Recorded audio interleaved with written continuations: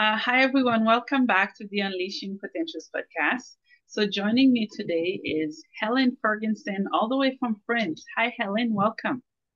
Hi, Bernadette. Lovely to be here. Thank you for inviting me. It's fantastic. Mm, happy to have you. Um, if you don't mind, you can start by telling us who you are, what you do, and uh, anything from there, your story.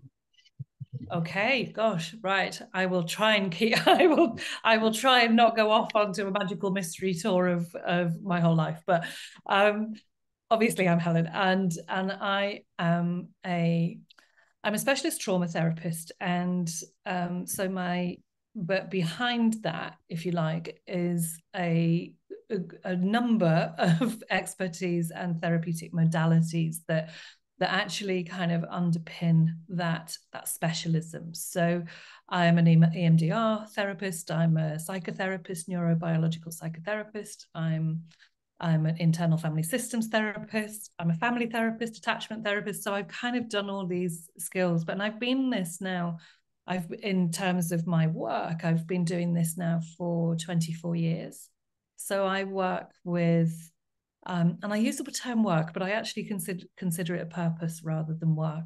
Mm-hmm. Um, so I've had this purpose now for 24 years, and I work with children and adults to help them uncover and discover who they actually are and who they can become.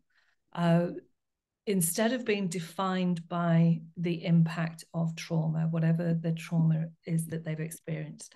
And usually, uh, the people that I work with, like I say, children, adults, um, have experienced childhood trauma, CPTSD, and um, and or sexual abuse.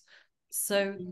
you know, I I can be working with women that are sixty years old that um, are just coming to me because they've had a had an experience that has reminded them of their childhood trauma and their sexual abuse in childhood um, and I can be working with seven year old children that have experienced a sexual um, assault injury or a sexual abuse experience. So, you know, I really work with a, a wide range of um, ages and um, and it's been it's been such a joy actually to work with the amount of people that I've worked with over the years and to see them flourish.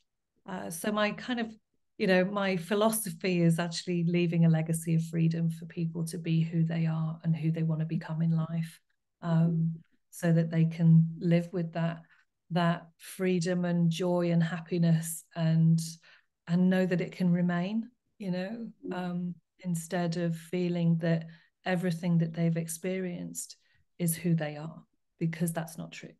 Mm-hmm. What's happened to you is not who you are. Um, so I, I've been living in France now for six years. Um, I was in Greece before then for seven years. Uh, obviously, by my accent, I'm originally from the UK, uh, but I work internationally. So I, I just love being able to kind of travel and live in different places. And um, and I get to experience and meet so many different people from different cultures in what I do. So so that's me in a kind of nutshell, I suppose. yeah, that's amazing. The work that you're doing is so needed, literally anywhere around the world. Yes. Um, what got you into doing the work that you're doing? I can tell how passionate that you are about what you do.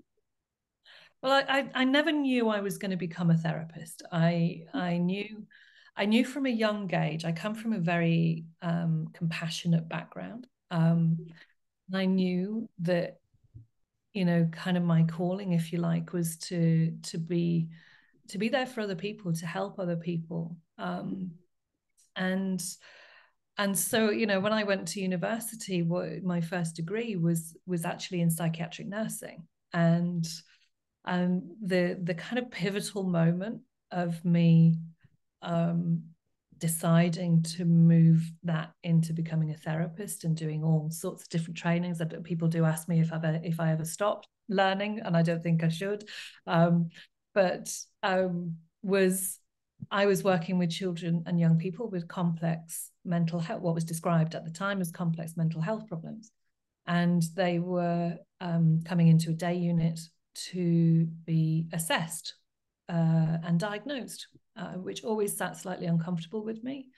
Um, because you know children of five six seven so on you know being diagnosed but you know i remember this little boy and who who was really really struggling and wasn't allowing anyone near him he was really you know everybody was saying he was so angry and aggressive and i was like and i remember um having a, a kind of one-to-one session with him and and he he he became this lion in this session and and was kind of roaring at me and things like that. And mm. and I just stayed with him you know this frightened little boy um, that was didn't know how to express himself didn't know what to say you know was having this expectation that people would would would try and understand him. And I just stayed with him and I talked to the lion and I and I got to know the lion and I was talking about this session in in my supervision, which was with a psychotherapist at the time, mm-hmm. and it was her that said to me, "You need to become a therapist. You have this ability to sit with people and understand them and and want to understand them in a way that is very different from assessing somebody."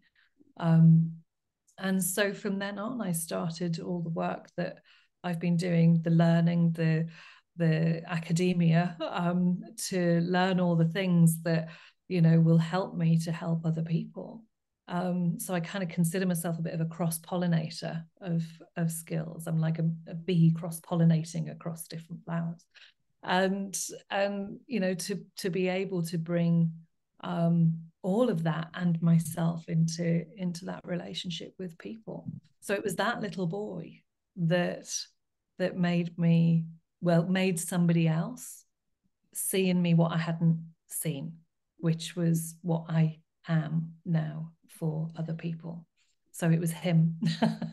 It yeah. was him. And, and yeah that's every every single child and adult that i've worked with ever since then has been a, a validation that that was absolutely the right decision um, mm. that it was the right route for me to go um, mm-hmm. and it is I, I see it as a purpose i absolutely love the value um, of it and the value that it gives me as well you know it's important you, that you feel a value in the receiving of what you get from working with mm. with um, anyone um, so you know there's it's an important relationship the relationship that I have with with anybody that's working with me is hugely important to me. Mm-hmm. Yeah, absolutely. And when it comes to childhood trauma, which I think at this point, from my experience, that all of us have had some type of trauma. Uh, some of us can put label on it. Some of us we don't understand how to process it. Um, how do you help people process trauma? Um, thank you for explaining how you helped that little boy express it. How, how would you help an adult process it if they've never done any type of therapy before? Well, people often think that therapy is really, really scary, and, and, and, it's and um, I'm I'm here to break the mold on that because mm-hmm. it's it feels it because you know I think in the past the way that therapy has been seen has has been in a kind of you know the therapist being in a slight ivory tower you know sense of judgment um, those kind of things. And i'm not any of that. Um, because what actually therapy is is an empowering process of transformation. Um, and in the doing of that in the in the in the, the helping somebody in you know have that transformation feel empowered in their own healing journey you know discover uncover and discover who they are and who they can be. The very first thing that you have to do and i have to do is create a connection and a co-regulation with that person with whoever's choosing to work with me whether that's a child a young person or an adult. Um, the very first thing that you have to do is create that connection and co-regulation because it's in that that you help to regulate the nervous system, which has become so dysregulated by the trauma that you've experienced and how you've been carrying that, how you've been living that in your body and in your mind and in your heart mm-hmm. throughout the the the time frame that you've been holding on to that until you come into the relationship with me. So mm-hmm. That's the very first thing that anybody mm. has to do because that creates this the what you didn't receive at the time at which your trauma happened. Mm. So the reason why trauma begins to you know the impact of trauma, the traumatic experience, the reason why it lives in your body is that it affects your brain, it affects your uh, you on a cellular level, it affects every part of your of, of your being, and and so what happens in that in that moment when you experience that trauma, your your mind and your body go into survival, and that's often understood as the fight, flight, and freeze um, uh, the um, system. And and so you know you can get stuck in that where you've not been the only way that you're able to to manage that is by self-regulation. And when you are in threat mode you're not able to regulate your system you know so the, mm-hmm. the the brain and the body have to create a way of doing that which is why we see kind of patterns of behavior and you know that people mm-hmm. say are trauma responses like perfectionism and, and self-sabotage and things like that. But actually what what they are is the the the response the the reaction the trauma reaction is the shame that you feel at the mm-hmm. moment of experiencing trauma. Anything from that like you know the behaviors and patterns that we see their responses to the trauma. So what we have to do in the therapeutic relationship what i do with the people that i'm working with is we we have to get exploratory and curious. Um you know we have to to bring the unconscious to the conscious because you're unconsciously carrying these patterns this shame these core beliefs that you believe of yourself that you're not worthy you're not good enough you're you're um you're bad you know you're bad for this thing happening to you. Um this idea that if you were someone else then that bad thing wouldn't have happened. So you know by bringing that on those unconscious patterns to the conscious you then are empowered to make choices in untangling those knots. You know i, I always describe it as um, you know when you were a kid if, and you had a jewelry box and there was like a you know there was a silver chain and you you or a chain and you pulled it out of your jewelry box and it was all knotted and tangled together you know? That's trauma okay? So when somebody comes to me and they hand me this this bundle of knots and they say can you please help me? Because i don't know what to do with all of this.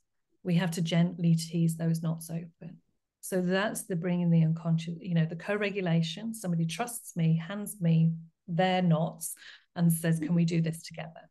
That's the connection. That's the co regulation. Um, the emotional, being able to witness other people's emotions and not be frightened by them, um, and empathic witnessing. And and so we you know we then start to tease open these knots to tease them you know and and gently un unknot them.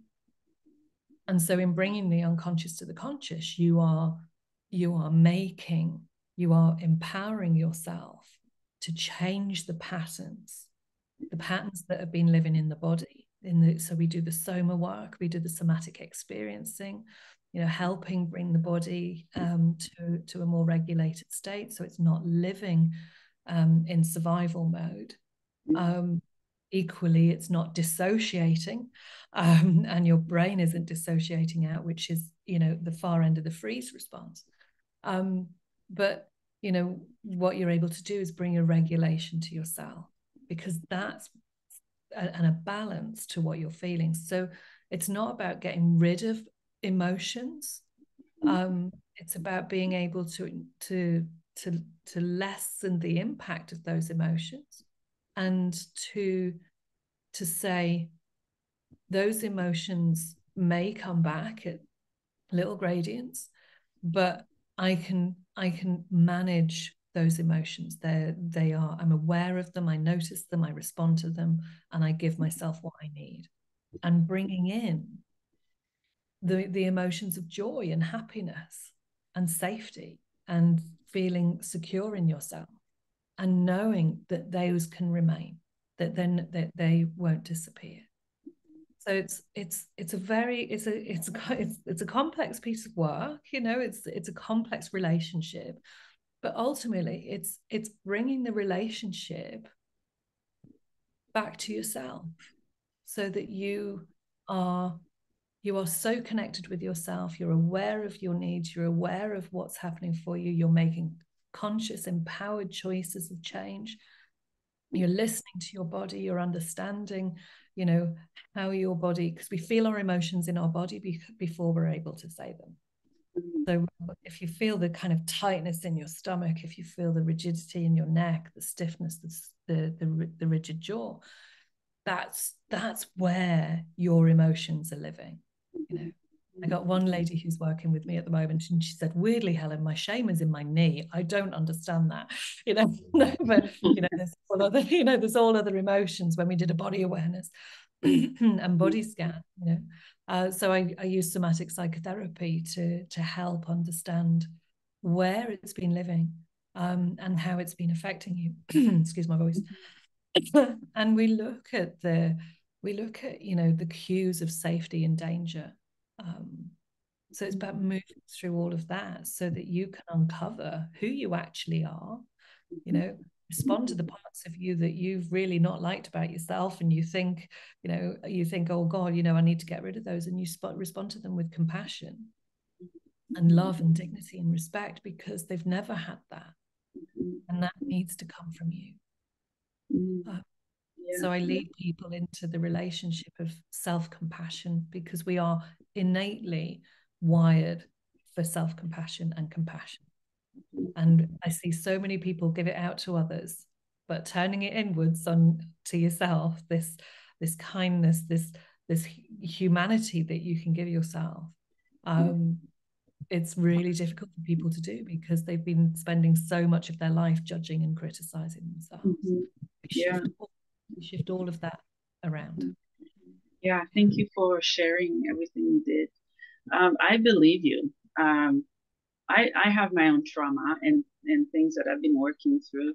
I love the the way you describe it with the knot because I'm going through it and I know I'm not alone. I'm I'm kind of pulling different parts of the knot, but it wouldn't work. It wasn't coming undone like I expected it to or wanted it to. And um, trauma is so complex, as you've as you've expressed, because it's um, it's facing our shadows and uh, facing things we don't want to, and most of the time it's so unpleasant to face and to go through it, and that's why I appreciate what you do because you help guide people um, to know where to start, right? Yeah. Um, yeah. And you give them a, the space and over time they can build a trust because if there's no trust one cannot open up right? That's why um, therapy seems scary to many because you're going to go see a stranger tell them all everything about your life or some of it. It's scary and i love how you build the, the trust and how you invite people and the methods that you used. Um, what is cp so you put it in the reverberation. PTSD is yes. is so you have PTSD and CPTSD. So hmm. um, PTSD is complex PTSD. I have that. so, so um, no, PTSD we would we would usually describe as coming from one incident. So um, an experience of um, a car accident, um, a medical injury, um, um, war in the sense of you know a a a, a battle, um, and complex PTSD we understand more as a a series of trauma that um, has been ongoing or there has been more than one. So we would often use it to describe um, anyone who's had abuse, neglect um, in childhood, and that's been an ongoing process within within the family or within a relationship, um, a parental relationship or a, or a caring relationship, um, or you know somebody outside of the home. So there's there's like um, it's it's it's not just obviously childhood trauma, but we understand it that it, it usually originates in childhood in childhood, um, and it's it's a it becomes a series of traumatic experiences that happen over over a, a number of uh, episodes, a number of years, a number of months, um, and can re can have a um, again in in young adulthood and if you experience a trauma, then that adds to it. So the complexity is the complexity of all these, all this, this trauma that you've experienced that hasn't just come from one incident. Mm-hmm. Yeah. With me, maybe I'm not alone. I get flashbacks.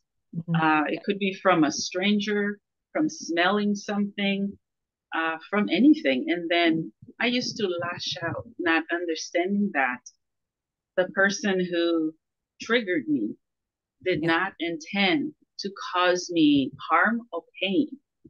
How can we work with our triggers without hurting those around us that are trying to help us? Because triggers are very real. And they are. They're, they're real. Yeah. How can we do that?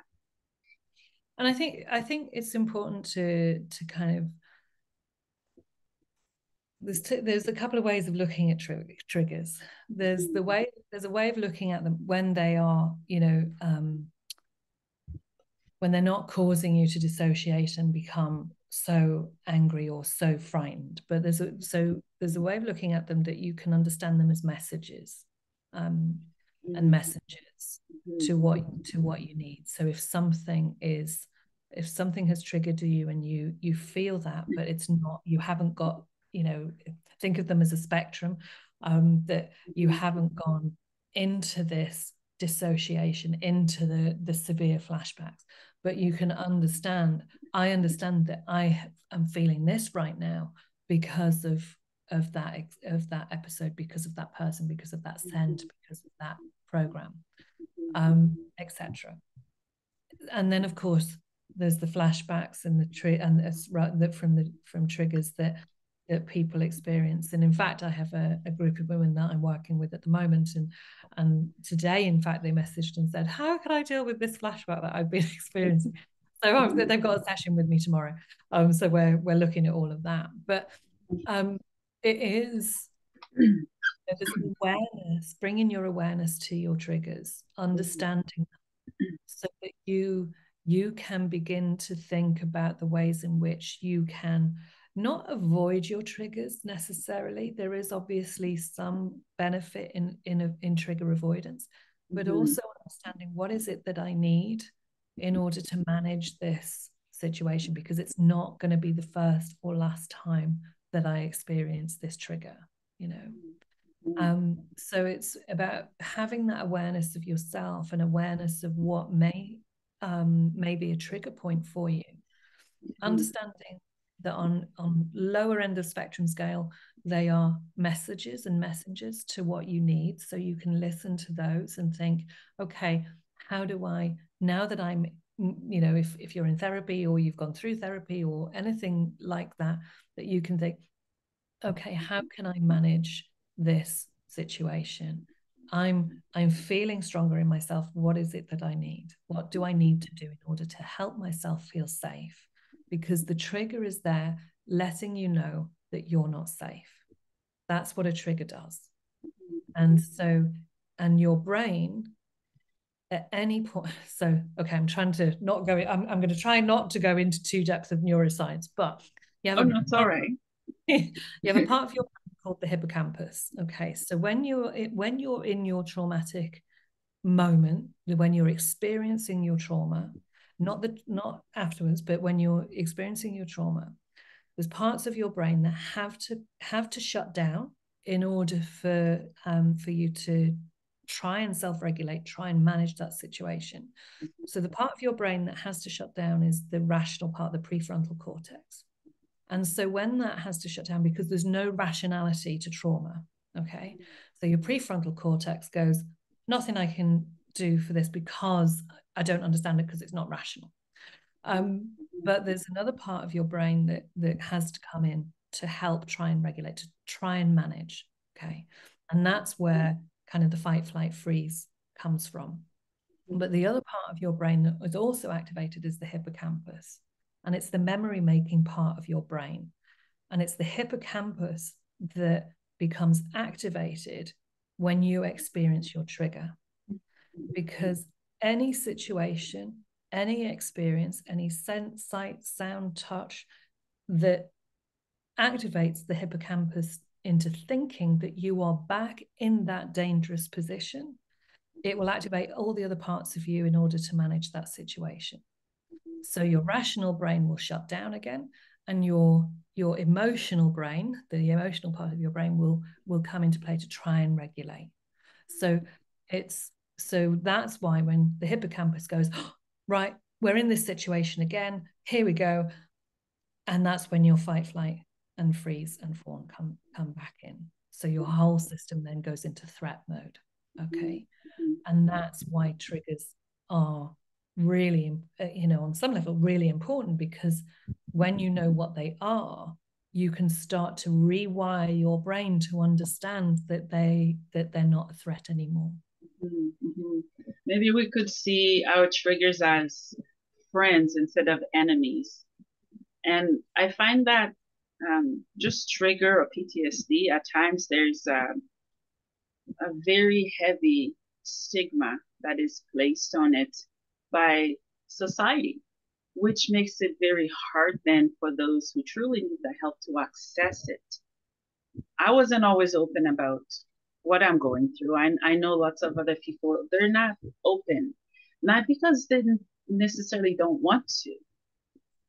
It's the culture they grew up in uh, the environment that told them it wasn't okay to express how you feel. Maybe it's uh, during childhood, right? As you mentioned, childhood um, trauma plays a significant role into how we see life now, right? Um, do you find that it's easier or harder for male uh, to open up versus female? we, we talk a lot, but how is that? right? Because we raise in the in the society where males are macho. They're not supposed to cry or feel. How do you work with different males and how does how does that work? It, everyone because because everyone is unique okay so your trauma everything the impact that your experience has had on you will be unique to you and you alone. Mm. It you can be in a sibling group and have the same experience, so the same episode, the same abuse, but the way that it's impacted on you will be different because you are unique. That's the same in how it continues to affect you in your life. And then, of course, there's the cultural, the gender, issues, the, the, the, the societal expectations, the gender expectations, the non-gender expectations, etc., etc. that go with that. Now, I've worked with some amazing men over the years that have managed that have come in, been really open about what they're experiencing, really open about the connection with me. Um, this is what they want. This is, and and I think that's also, you know, helped by what they've experienced of support in their life. Um, and but there's other men that have come to me that have been not resistant, but more closed off. And that and you know that's you that's I'm going to be a little bit specific now, but that's that's that that has been men jobs like the police um, and and firefighting where there is this kind of sense of you have to hold on. And you know my my husband is is ex-military so he was in the military for 24 years. He went to afghanistan iraq um, bosnia northern ireland the trouble in northern ireland. You know he's seen a lot of um, devastation and being a part of that. And um, he's, you know, when I sit with him and think about everything that he's been through, I'm always amazed by how together he is, how safe he feels in himself. But that's that's also because of the support he had then in that process, but also, you know, obviously I don't therapize him, um, but the, the support he's had in his adult life, you know, so he had a good foundation, he had a good, safe, and secure attachment foundation, emotional bonding with his family. He went into these scenarios, he had a good set of of um, support structures, and then he came out of the the Marines, and you know he he married me. Um, so you know he's, he's he's done well for himself, but that's not you know that's not everybody's story. Okay, um, so if you have not you know so for example there's a guy that i was working with that didn't have that strong family foundation you know was was abandoned as a child um, his emotional needs weren't met. He's had to self-regulate. He's had to try and do that through, and he tries to, has did try to do it through drinking and smoking and overeating and then over-exercising and all the things, all these patterns that were showing up. Um, but he was, you know, initially very resistant to working with me because um, he's in a job that says you don't do that, you don't share so there's so many different factors that can contribute. And and I see that in women too. You know, there are there are women that that come to me. I mean, the one thing that everybody has in common when they first start to work with me is the amount of shame that they're feeling about what they've experienced. And and it's shame that makes you try and hide. It's shame that makes you, you know, that drives you to to those self-sabotaging i hate the term self-sabotaging but i'm going to use it on this occasion those self-sabotaging kind of behaviors that, and the beliefs that you have about yourself but you know i see it in women too some women are really open you know they're open to to the potential for the the transformation um they they they they develop they go into the trusting relationship um, quite smoothly and allow it to happen and embrace it. And then there's other women that are, you know, I'm I'm not sure, you know, I need to keep a keep a distance first. And I, you know, there are so many contributing factors to all of that. It's it's the foundations that you had when you were when you were children. Um, it's the continued emotional um, and emotional connections that and peer connections that you had as young people into adulthood and and it's the the meaning making of the world around you it's where you see yourself in the world and the value that you give yourself and all of that contributes to your ability to be able to to feel like you can engage in in this in this this safe relationship this probably the most you know life changing relationship you'll ever have where I don't see resistance so much is in children. Yeah. Children kind of come in, and I saw a little boy this morning, um, and it's his first time of seeing me, and we were talking about, you know, we were getting to know each other, and and you know, he was he he was just open, and you know, explained he'd experienced sexual abuse, and he explained what had happened, um, and we were, you know, we were talking about how you know how you know to help him feel magical and he turned to me and he said i'm already magical. And i said absolutely you are you know absolutely you are. We could harness that bottle that and give it to everyone that'd be fantastic you know so i see with children a very different um you know non-gender non-societal you know this this just ch- a child in a room just wanting help um I'm not saying I've never seen resistance in children. Of, of course, I have. Um, I used to work with children and young people that were that were no longer with their birth families, and so, you know, I there was a there was a lot of work that we needed to do to help, you know, them begin to trust this relationship with their foster carers. Yeah. Um, but there's so many different factors that contribute to the ability to say and accept and connect with the idea of receiving help and support and that it can change your life. Yeah, I love that. Um, yeah, thank you for sharing. We're gonna go where we should always go uh, when it comes to sexual abuse, sexual trauma.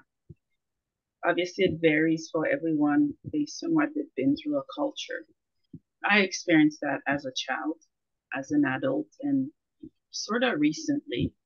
Um, growing up, even in school, talking about sex, it's something we did not do.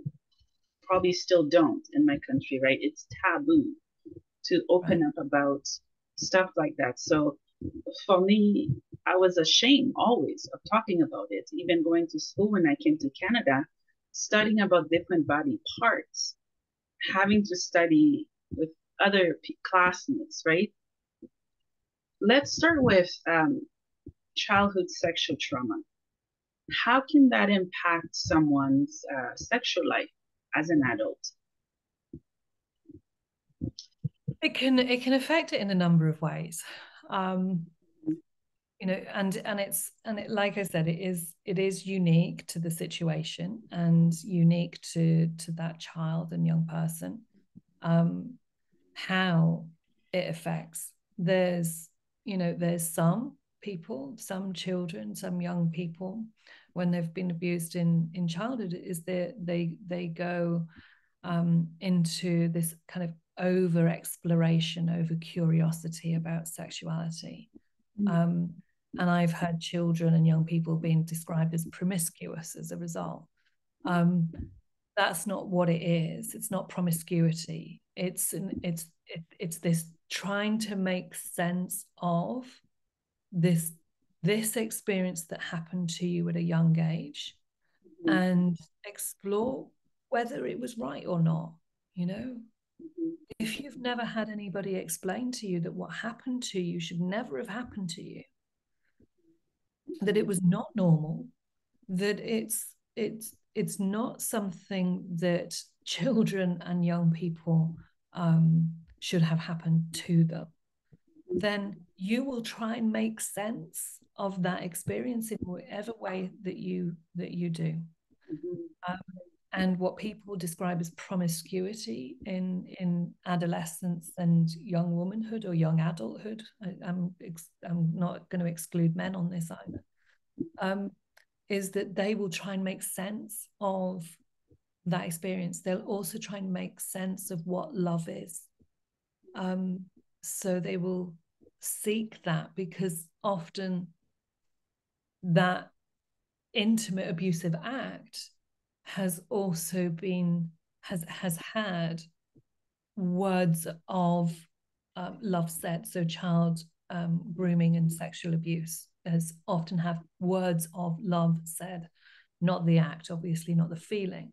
So this really distorts the idea of what love and sexuality is and, and what sensuality is.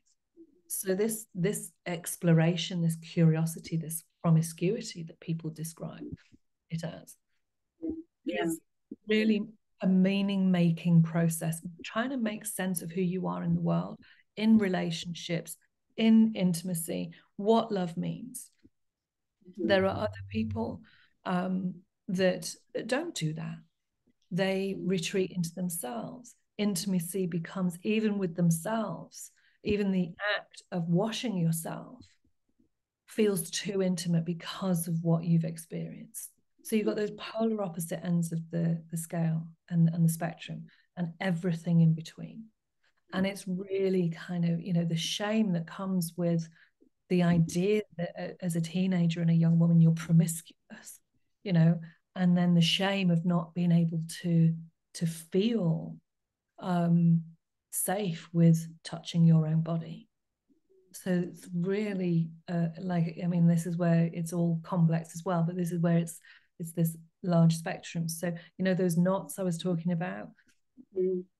It's understanding those because yes. I've got women that say to me that they can't, you know, they're in their forties, fifties, and they can't, you, you know, they have to kind of close their eyes in order to in order to dry themselves after a shower you know they won't they won't touch their their their breast or their they won't you know they won't you know touch the themselves in any intimate way um and and there's women mostly women on this one that I would work with in terms of how they can bring that level of self intimacy back to themselves mm-hmm. with safety and those women those young women that have have been exploratory and curious about sexuality intimacy relationship um, in a way that hasn't been safe how they can bring safety to that.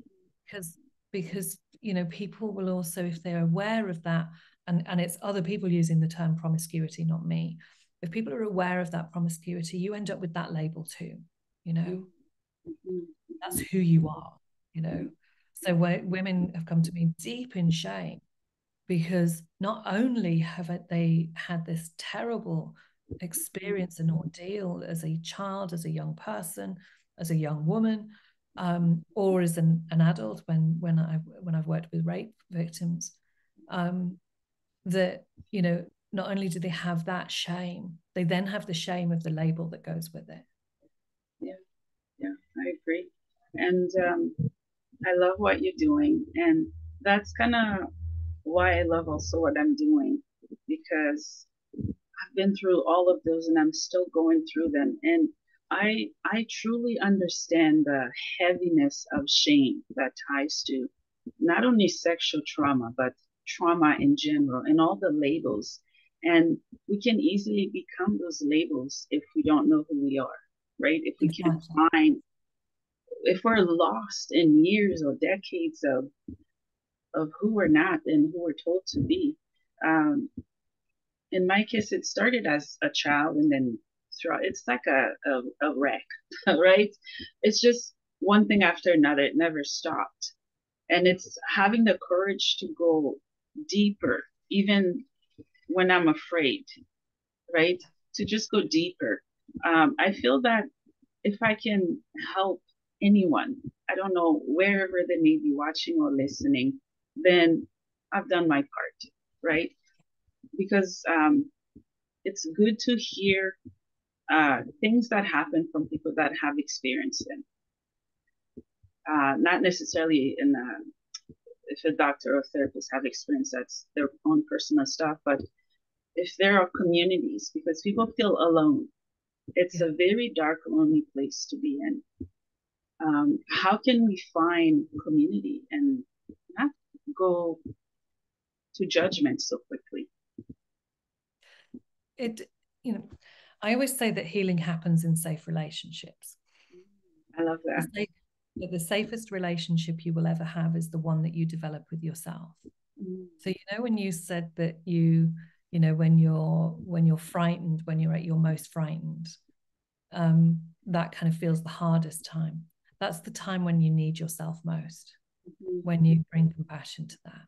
Mm-hmm. And you know, there are communities, there are um, there are you know and they don't have to be communities of women or or adults or, or that have been through exactly the same thing yeah. there's a there's a there's, it's your community it's your people you know that you feel safe with and and you know that can be you know your church group or if you're in you know if you're religious it can be your friendship group it can be as small or as big as you want it to be. But you know, it's whoever you feel the safest with. And then whenever I'm um, working with anyone, we look at the values that you have of you, but also of life, you know. And we look at who you have around you. I always describe it as like um like you're a planet, okay? And you've got this gravitational pull, you've got this orbit, okay? this gravitational pull of people and and the people that are in the closest orbit with you are your community they are the people that will help you feel the safest because their values are so aligned with yours that they would never want to break those. They would never want to step onto those boundaries or you know and step on your values. There's a connection. And in that that's where healing happens. You can also there are so many you know one of the things i have is a is a community of women that that work with me. Uh, it's a the women rising community. And um, the connections that they have with each other are amazing absolutely amazing you know. And these are women that had never met each other. They're in different parts of the they're in different parts of the uk i don't think there's anybody american in there at the moment but um they're in different parts of the UK, um, and had never have never been in a room together. You know? But they're they're in my community and they're in my membership and they're and they are I what you know they have their sessions with me twice a week and then I see all this connection that happens between them in you know mm. in between the sessions that they have with me. And I'm like you know that's what it's all about. So if you mm. can find that, and there's only six women, you know, but if you can find one person, one woman, one man, you mm. know, one person who's your person, that's the start of your community. Yeah, and that's all it takes. It's hard when we're by ourselves, exactly. or when we feel that we're alone, when really yeah. we're not. But once we overcome the obstacle of feeling that we're alone and lonely and and having community yeah yeah i've had amazing com- conversation and connection with people i've never met why yeah. because they can relate to my story because they encourage me and empower me and it's having that um, let's stay on the topic for a little longer about sexual abuse uh, because it's a big one i would like to talk about how authority uh, government or different le- legislation can help and support anyone experiencing sexual abuse and trauma. I won't even specify it to girls and women because men experience that as well. What are some tools and things that can be put into place to protect people, to provide resources? I think it's a it's a very very big subject. It's a very big subject. Yes. Um, you know, and and of course, you know, worldwide, it's a huge issue around child protection, um, adult protection, and and you know what what's the what's the um, what's the word I'm looking for? What's the action that happens as soon as you know that somebody has experienced or is experiencing this. Um, and it's you know there there are you know there are failings in in a lot of a lot of the i mean it's certainly when i think about the uk for example you know that's that's where my knowledge lies you know rather than a, in america or in in in Greece. I mean, there are European child protection laws and and adult protection laws and legislation. It's having it's having the capacity to to uphold those. Um, and if you've got structures that are failing because you're you haven't got the skill set in those services to meet the needs of a child that is at risk or an adult who is at risk or has been at risk then you're then you you're going to fail that person you know? It's not the people themselves. It's you know if you haven't got robust skills people in you know implementing those acts implementing those structures implementing those reactions and responses to what what happens um, when somebody is experiencing that or has experienced that you know shifting away from victim culture shifting away from um, the i you know the you know the what women have to go particularly um, i'll use on this occasion you know the, the, what women have to go through when they go to court um, yeah. when you know there's there's a real you know things do have to change and that is about knowledge. That is about being much more it's more than being trauma informed it's being trauma aware and looking at things through a trauma lens. Um, it's having the trauma knowledge and the trauma skill set. Now, the difficulty is trauma covers such a wide, you know, trauma is a big word, a small word rather, for a big lot of trauma. you know, so yeah. medical trauma, there's there's, you know, there's sexual trauma, there's, you know, abuse, there's not, you know, there's so many things that, you know, come under this umbrella of the name trauma but mm-hmm. when you have a when you have skilled and knowledgeable people with expertise in this area, not not just a not not only a will to help, but you know a trauma focus, looking at things through a trauma skilled lens, then you are able then to respond to people differently. In the mm-hmm. way that in the way that means that we don't add to the shame. Mm-hmm. And yeah. you know without without me going for world domination wouldn't be able to talk about all countries around you know their legislation and what needs to happen. But you know on a general level understanding bringing awareness bringing skill and knowledge and expertise to people who are on the front line of it but also the ones making the laws. Mm-hmm. and also the ones who are sitting in court and and and asking the questions and and making the judgments.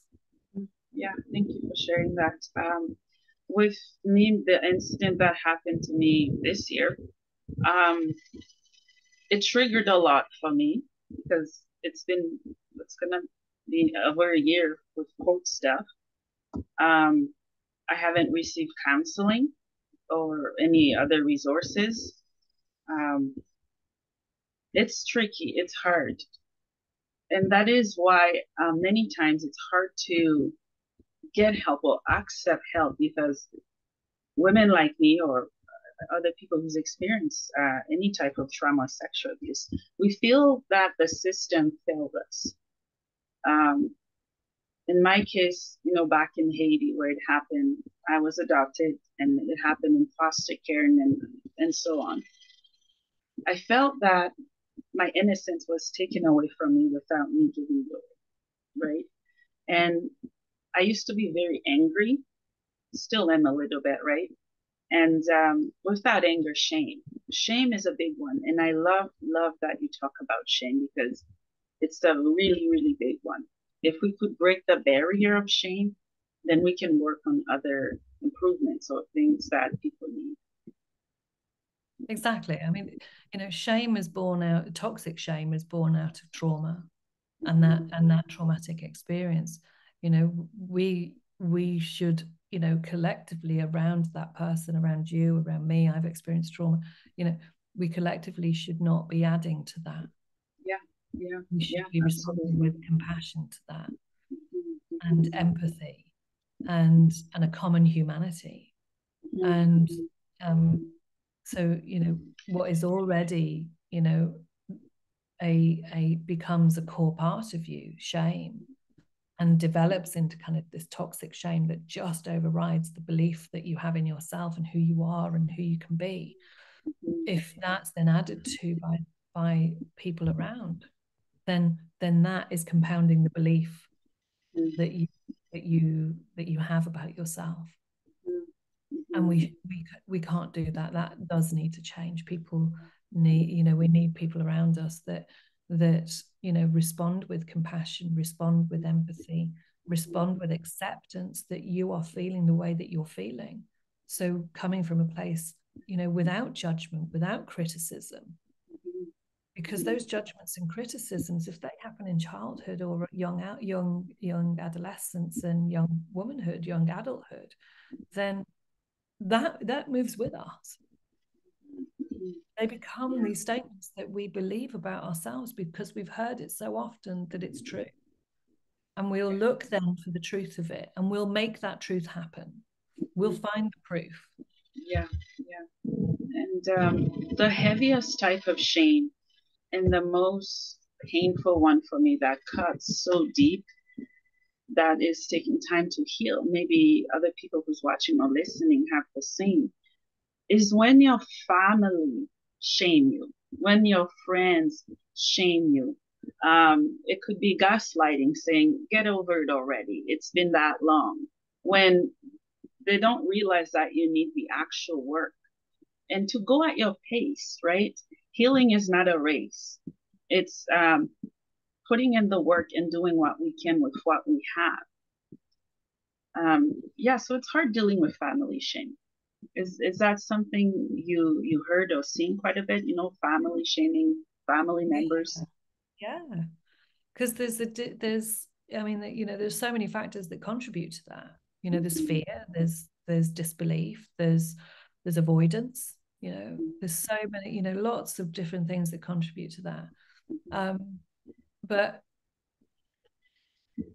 what what you what we have to do, you know, in in a lot of ways is is reparent that part of us that didn't receive the, the support and compassion and love and dignity that and respect to to minimize that shame that we originally felt. And so in in any kind of healing and you're right healing is not a race you know and and healing isn't linear.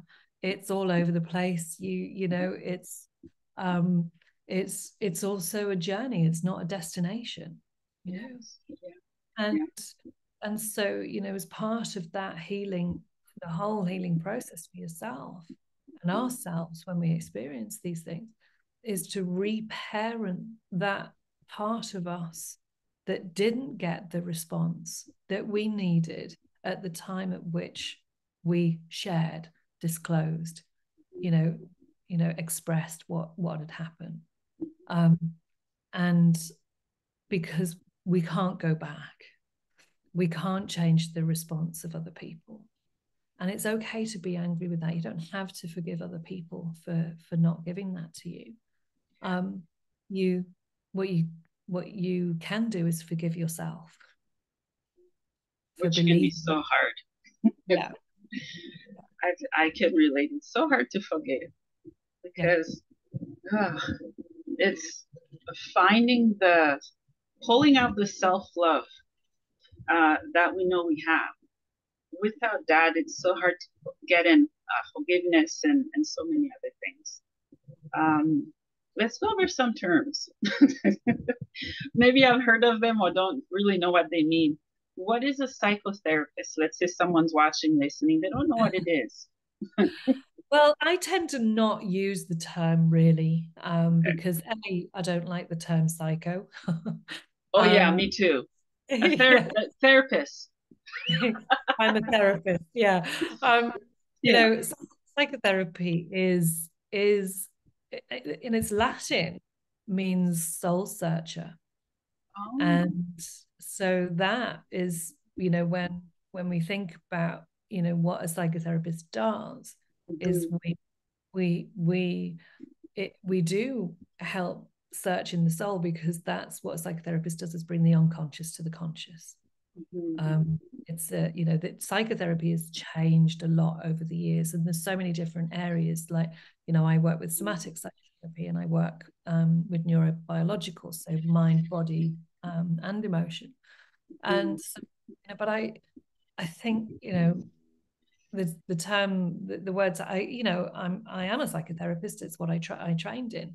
Um and you you know to become a psychotherapist we usually I think it's changed a little bit over the last couple of years but what we had to have was a was um, a foundation in mental health and well-being. So um, you couldn't become a psychotherapist unless you'd done, for example, a social work degree or a um, um, you'd done your psychiatry or you know you'd done your psychology degree. Um, so psychotherapy was you know is a is a way in which we understand help people understand their souls their mind their body you know everything that's happening unconsciously um, so that we can help um, undo the knots. And mm. you know, like I say, everybody works differently. I remember psychotherapists when I was first training, and I was thinking, I'm not entirely sure I'd come to you. um, and you know, so I I actually yes, I'm psychotherapy trained, but I'm I'm um, I'm I kind of feel as though I'm much more of a kind of holistic therapist in the mm. sense of you know all the other training that I have, all the other therapy um, skills that I have. So I, you know, I'm a mind, body, soul therapist. That's what I am.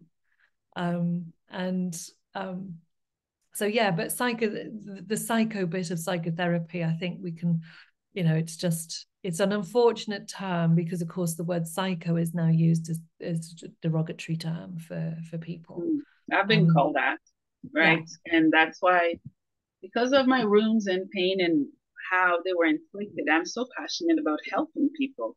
Yeah. Um, I used to be so ashamed of sharing my story. I have schizophrenia, PTSD, uh, so many other labels they put on me. Um, but many times we fail to see the true person that's in front of us. Instead, we go to labels that were given to them versus some people don't even they don't even call people by their names, right? Um, yeah, let's talk about language. You know, the word psycho. I'm personally allergic to it. I don't like it. If someone called me that, I've, I've I've grown enough. I have thick skin to let it slide. But to someone who who's fresh in their um, trauma, that can really uh, cut them very deep and it can, it can hold them back. It can be very off-putting because yeah. it says, you know, the word psycho because it's, you know, it's something that has over the years had a lot of derogatory um, meaning to it instead of its its kind of true meaning, which is looking at the psyche. Um, mm you know looking at you know observing being empathic uh, an empathic witness to everything that's happening in your in your in your psyche in your mind body and soul. And and so instead it's been used as a as a your psycho meaning you're mentally ill. So people instantly think that you know um you know coming to a psychotherapist might mean that you're mentally ill and it's not the case. Yeah. um yeah and and so yeah it's it, it is it, it has i mean it's not about i've not had people refuse to work with me or anything like that or it's um but i tend to use you know trauma therapist as opposed to as opposed to psychotherapist because it just breaks that wall down you know yeah. says, says what i do mm-hmm. yeah. i'm a therapist that works with trauma mm-hmm. yeah yeah um let's touch a little bit on suicide. um, you see, I'm speechless because I I have been in the past, and I know many other people may have felt it or you know tried to hurt themselves. I find that there's a, a very heavy stigma, not only on mental health or trauma, but on suicide. Um, obviously, if anyone needs help to get it, uh, most of the time, from my experience, if I tell anyone that's how I felt or feeling, that's me crying for help. That's me saying, hey, please listen to me. Can you talk to me? Can you help me? Can you get me some resources? Do I want to do it? No. I have kids. I have things that I have to live for. I actually want to live, but we can quickly shift that into a threat when really it's a cry for help yeah. Mm-hmm. and it is. It's you know it's a you know there are there are people that end their own story. Yeah. Because that's what it is. It's ending their their own story. And and if you truly want to kill yourself you will you know. It um sometimes it doesn't you know sometimes people can't find that help or want to seek out that help they they want to no longer be here. Um, but you know if where they're where somebody is looking for help and is saying you know this is what i'm feeling in my mind right now this is what i'm feeling in in my heart and my my body and and it's you know it's really painful. And you know i've got this feeling that i want to end it. You know there's a suicidal ideation as opposed to an intent. Um then then you know you know being able to share that is hugely important being able to reach out um, and that is back to looking who's in your community who's yeah. who's in your circle that you feel safe with and if there isn't anybody there are so many organizations where you can pick up the phone. Um, Samaritans in the UK, for example, um, suicide prevention um, organizations in the US that I'm that I'm aware of. You know, there are there are organizations that are trying to support. So it's, it's feeling able to acknowledge that you've been having those thoughts. You feel scared by them, but you aren't alone and that you can reach out. Yeah. Yeah. Thank you for sharing that. It's, yeah, it's having somewhere to, like a refuge place, you know, because even though we can be sheltered in our own home and space and have love, family, money, we can still feel so trapped and unhappy and have nowhere to turn. Um, an example of the saying money can't buy you love or happiness. Is it true? I think it is because some of the richest people in the world they're miserable. They don't have love or or healing or peace, right? It's having the community, which I love what you're doing. Um, do you have any final thoughts or words of encouragements for uh, for the listeners before I let you go? I think you know. I think what I'd like to say is is it, you know, if you're listening and you're feeling alone, I want you to hear that you're not. Um, that there, you know, that it can, the trauma makes you feel like you're on your own. Because that's, you know, in the moment when you were experiencing it, you were. Um, but that's not to say that you are now. And there are so many people that have experienced what you have experienced and and and have been struggling to and have reached out so you know you really aren't alone and and look look for the support look for the help it's there you know and and people will reach out to you people you you will be surprised at the at the support and help that you you can receive yeah, yeah, I agree. And um, you know, to always get help, um, no matter how hard it is. Um, I know that so many of us we have so much to live for, and don't cut it short. Right? Take it from me and from Helen as well for sharing. Uh, thank you so much, Helen, for sharing. Thank you for what you're doing. Uh, what an honor and blessing it was to talk to you. Uh, where can my listeners find you if they would like to work with you? There, well, there are several places. If you want to follow me on Instagram or Facebook, I'm on Instagram as Helen B. Ferguson, and Facebook, you can um, go to my Facebook Helen Ferguson therapy page.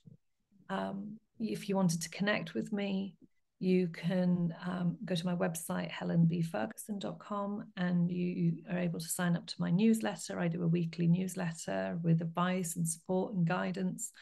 That's that's probably the, the coolest way to start with me. You become we become inbox friends. and, I, and, I, and I provide a lot of I provide a lot of advice and guidance and support in those in those emails and a lot, a lot of inspiration that you're not alone in, in and it's a community. People reply to me all the time to my emails. Um, and that's the coolest way to connect with me. Um, and but you can also book on a on a free compass call if you're wondering what direction to go in. Well thank you so much helen for being on the podcast and for sharing what you do and thank you for help helping others so many others healing it's a beautiful powerful job that you're doing thank you Oh, you're you're welcome, and everybody is you know who I've ever worked with. It's been a joy to work with them. Mm-hmm. Thank you.